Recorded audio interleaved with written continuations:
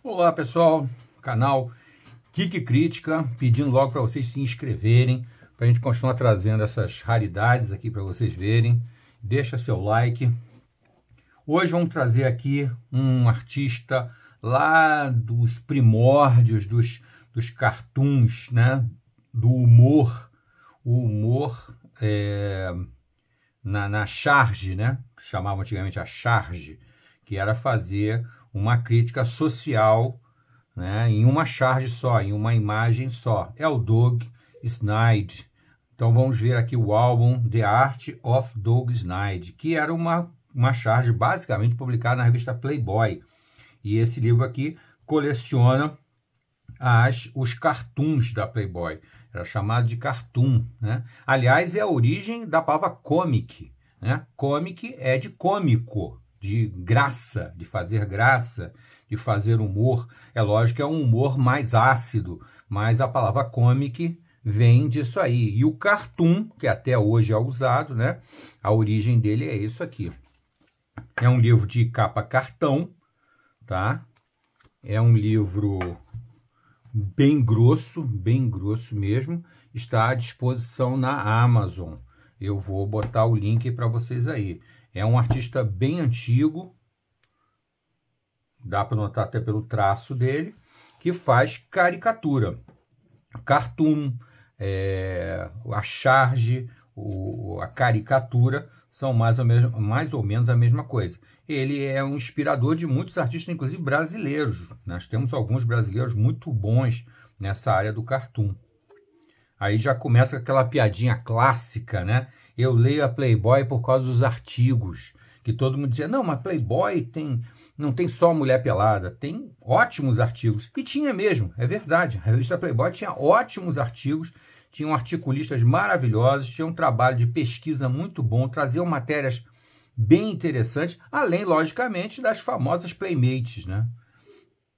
E tá aqui, é, é, a abertura dele é do próprio Hefner, né? O dono da Playboy, Hugh Hefner, com a introdução do, do Lynn Johnston. Muito bem. É lógico que a nudez era obrigatória, né? E os temas geralmente eram temas voltados para o sexo, logicamente com a ideologia dos anos 60, dos anos 70, que é mais ou menos essa época do, do, do da, das charges do Doug Snyder. Eu não nego a você que me dá um certo, uma certa saudade dessa época.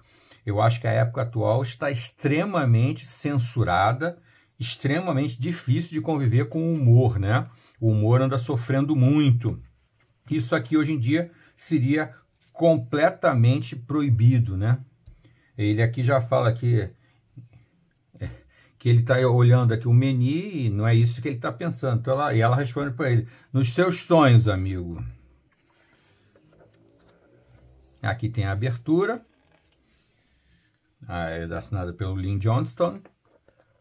E aqui começa, então, sempre tem uma frasezinha, que é o humor está na frase, mas a frase se encaixa perfeitamente na cena. Isso é a charge, isso é o cartoon. Né? São cartoons muito clássicos publicados na Playboy durante décadas, pelo menos umas três décadas, 60, 70, 80, acho que até 90. A Playboy ela ainda sobreviveu até o início dos anos 2000, lá fora e aqui também. Né? Eu até tenho algumas edições da revista Playboy que eu guardo com carinho, porque era uma publicação sensacional, realmente. É humor e o ideal, logicamente, quem comprar o livro vai se divertir bastante com as colocações aqui, que são sempre muito bem feitas, muito bem feitas, muito apropriadas. Aqui nós vamos dar uma, uma, uma, um panorama da arte, que é uma arte muito bacana, muito bonita.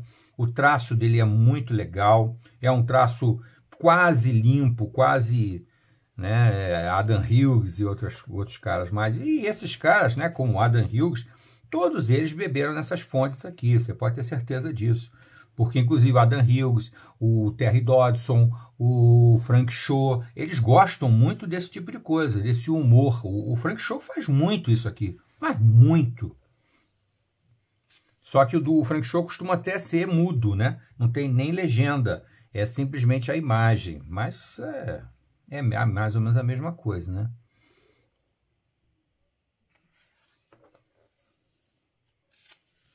É um álbum realmente muito bacana.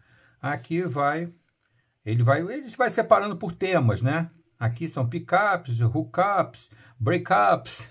Ele faz um trocadilho aqui em inglês que é engraçado. Aqui é a mulher fantasiada de Mulher Maravilha, né? E ela tá dizendo aqui, essa noite eu estou procurando por um, um bom rapaz. Tá certo? E assim vai. O álbum é realmente muito bonito. Vale a pena. Você, você vai passar algumas horas aqui rindo bastante com essas, essas charges. Logicamente, eu acredito que seja mais do gosto de quem tem mais de 30 anos, mais de 40, porque vai ter um pouco de memória dessas, dessas situações. Se você tiver menos que isso, vai ser interessante para você comparar como o humor mudou. Mudou radicalmente. Está cada vez mais difícil fazer humor sem ser censurado de alguma maneira, né? Porque hoje em dia tudo é proibido, tudo é preconceito, né? É, naturalmente aqui as mulheres são objeto, e aí a gente vai ouvir essas coisas todas que ouve por aí, né? As pessoas não sabem colocar as coisas nos seus devidos tempos. Eu não estou querendo aqui dizer, ah, não, hoje é pior ou melhor do que antigamente. Para mim, logicamente, é pior, porque eu vivi essa época aqui. Mas aí é uma questão de faixa etária. Mas é, o fato é que a censura nunca é uma coisa boa, nunca é boa. O que deve haver, como já havia nessa época, era uma adequação, né? Então você tinha a censura por faixa etária. Beleza, concordo plenamente. Esse assunto aqui não é para ser abordado por uma criança. Tanto é que esse vídeo aqui vai estar classificado, será está classificado já aqui no, no YouTube como não interessante para criança e para pessoas acima de 18 anos. Mas acima de 18 anos, a pessoa tem que ter acesso a tudo. Afinal das contas, uma pessoa com mais de 18 anos, ela pode dirigir, ela pode votar, né? Quer dizer, ela tem que ser responsável pelas coisas que ela vê, que ela assiste, não tem que haver esse tipo de cerceamento. Ou o direcionamento, que também está acontecendo muito, né? E outra coisa que acontece muito na internet hoje em dia é o cancelamento, né? A pessoa desagrada a um determinado grupo e aí esse grupo vai lá e faz de tudo para cancelar a pessoa. Isso aí é lógico que não, né? Eu acho que nós temos que ter direito de escolher as nossas preferências, né? O que nós não podemos fazer é ofender ninguém, logicamente, não é atrapalhar a vida de ninguém por causa de algum tipo de, de gosto diferente, aí de forma nenhuma. Isso é totalmente recriminável. Mas, voltando aqui ao, ao Doug Snyder, eu, eu dei uma viajada aqui, fiz um, um podcast aqui, mas é, a arte dele é divertidíssima. Outra coisa que você percebe é aquela coisa que eu sempre falo. Ele com poucos traços, com uma simplicidade muito grande no traço, ele consegue botar expressão nos personagens, né? Isso é muito interessante. É um estudo da caricatura, né? Isso aqui é basicamente é uma caricatura.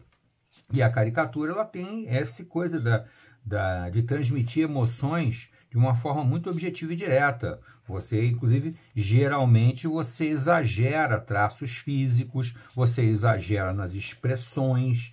O, o desenho do mangá, do anime, ele é essencialmente caricato, porque os traços são muito básicos e as expressões são muito fortes, muito evidentes, muito, né, gritam mesmo. É um, uma característica. Eu, pessoalmente, gosto bastante de, de mangá, de anime. Não são todos, é claro porque hoje em dia tem uma enxurrada deles você tem que ter critério para escolher os que você mais gosta. Eu, pessoalmente, se eu for fazer uma seleção, vou ficar com cinco ou seis. Cinco ou seis mangás, cinco ou seis animes. O traço dele é, é, é, aquele negócio. A anatomia dele, a anatomia dele é muito realista, mas quando chega no rosto, ele vai para a caricatura. Olha essa expressão, que exagero na expressão. Mas é exatamente isso, é transmitir uma ideia com poucos traços. O trabalho dele é realmente excepcional. É uma aula vida de casado. Aí vem aquelas piadinhas, né? De, de traição, de. Ó, tá vendo? Como é que são as coisas? Nessa época isso era engraçado, né? Hum. Sem nenhum preconceito. Mas, na verdade, o preconceito surge quando existe a censura. Quando não existe censura, não existe preconceito. Não existe preconceito algum. Você aceita tudo com naturalidade, porque a vida de cada um é de cada um. Né? Ninguém tem nada a ver com isso. Pelo menos na minha filosofia de vida. Né? Eu não me meto na vida de ninguém. Vamos lá. Então, aqui, o álbum é muito extenso. Aqui citando Star Trek. Star Trek é de 1966, hein, gente? Vamos lembrar que Star Trek é a série original, a série clássica, a melhor de todas, é de 1966. Aliás, os anos 60 são prolíficos em, em produção de grandes ideias. Né? Os anos 60, quase tudo que se criou nessa área vem dos anos 60. Eu acho que começa, lógico, no, antes da guerra, né? nos anos 30, mas ainda é uma coisa muito tímida atravessa um período muito brabo da censura nos Estados Unidos, que foi uma censura muito grande para os comics, né? E depois a coisa nos anos 60 começa a melhorar e nos anos 70 realmente atinge um apogeu, né? De criatividade e tal. Lógico que existem momentos históricos nos anos 80 dos quadrinhos que ninguém pode esquecer. Os anos 80, né? São os anos de Alan Moore, de Frank Miller, de John Byrne, né? Essa gente toda aí que deu um novo rumo, um novo ar fresco aos quadrinhos, né? Mas eu considero que isso tudo começa nos anos 60. Grandes personagens da Hanna-Barbera que fazem sucesso até hoje, grandes séries de televisão que são lembradas por quase todo mundo que é daquela época com bastante carinho. Algumas que você assiste hoje em dia vai continuar se divertindo muito, outras nem tanto, que ficaram um pouco passadas, né? Mas não resta dúvida. Bom, gente, eu já estou chegando aqui mais ou menos, estou chegando aqui na metade do livro, mas realmente é um livro muito bacana. O vídeo vai ficar um pouquinho maior do que o meu normal. Eu procuro fazer vídeos de 12 a 15 minutos no máximo mas depende do álbum, né? Esse álbum aqui é um álbum bem maior. Então, agora, é, é um álbum que merece, para quem gosta, se você aí gostou do álbum, compra, porque você vai se divertir lendo os textos, né? As legendas. São todas elas muito legais. Logicamente, em inglês, né? Tem que ter um conhecimentozinho de inglês, mas não é um conhecimento muito profundo, não, tá? Dá para você Lê bem, lê bastante.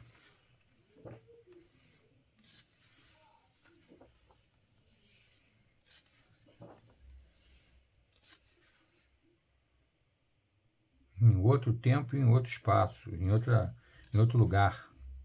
Aqui ele já vai para as coisas mais históricas, né? Ou então para contos de fada, Mas é muito divertido o álbum, é muito bonito, o colorido é muito apropriado para o tipo de, de ilustração, né, para charge. É lógico que era uma ilustração, era um colorido que não era feito por computador, né, então é um colorido mais chapado, mas mesmo assim você percebe nuances, tem muitos nuances de luz e sombra, né, de maquiagem, alguns detalhes bem interessantes. Aqui já vai para os grupos, né?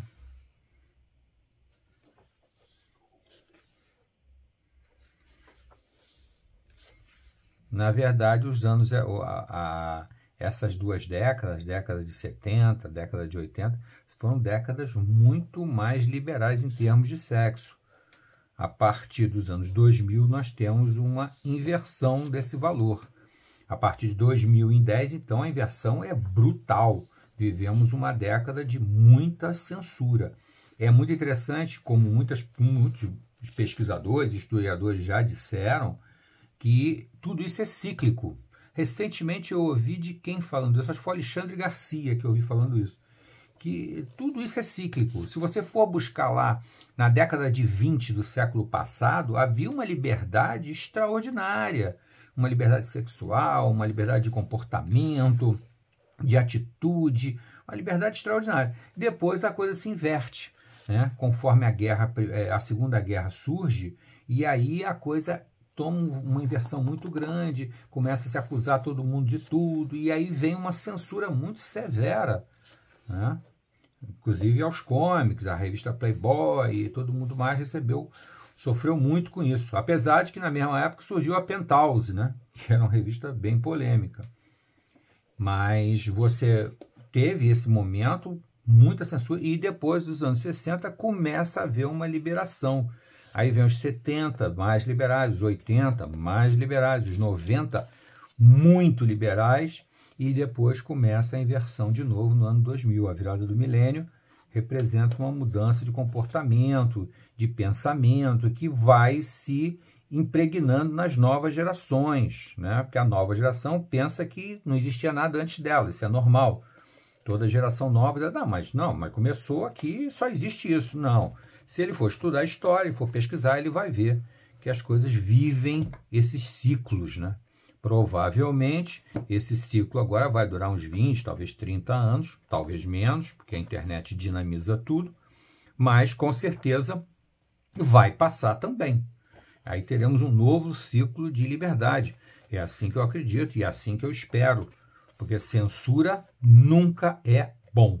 Censura sempre é ruim. Não adianta eu querer impor o meu gosto. Eu não posso fazer isso. Se eu não gosto, eu não compro, eu não consumo, eu não assisto, mas eu não vou proibir ninguém de assistir, de, de consumir, de, de, de comprar. Não, claro que não. Que esteja lá à disposição. Quem quiser, que compre, que consuma, que assista, que leia. Ué, não existe problema nenhum. Bom, gente, isso aqui foi. Aqui tem um índice, inclusive, com o ano, com quando foi publicado em qual mês da revista, em que ano e em qual mês. Muito interessante, porque aqui eu já vi que o primeiro é de 64. Olha que interessante. O, a primeira ilustração dele é em setembro, é, setembro de 1964. Exatamente o que eu estava falando. E eu não tinha lido esse índice ainda não, tá, gente? Então, aí vem com... E foi organizado em ordem cronológica, que é uma coisa bem interessante aqui, mas é logicamente que não está na ordem aqui dentro, porque aqui está por capítulo, por, por temas, né? Mas aqui eles fizeram o trabalho de colocar pelo ano da publicação. É muito interessante isso aqui para quem quiser pesquisar. Né? E são muitas ilustrações, gente. É muita coisa. Deixa eu ver quantas páginas. Tem 248 páginas. Tá? Então fica aqui para vocês essa dica aqui do canal Geek Crítica. Eu vou botar na descrição o, o link para compra na Amazon. Aconselho demais, é muito legal. Se você é um pouquinho mais velho, já passou aí do, dos, dos 35, 40, você vai curtir a sua história aqui, um pouco da sua história aqui. Se você tem menos, aí você vai achar um material muito interessante se o teu, a tua área de, de que você quer atuar mais ou menos é na área do cartoon, do, do, do da charge, né, da caricatura, que é isso aqui do Doug Snyder. The Art of Doug Snyder aqui no canal Geek Crítica. Deixa seu like, se inscreve no canal. Valeu?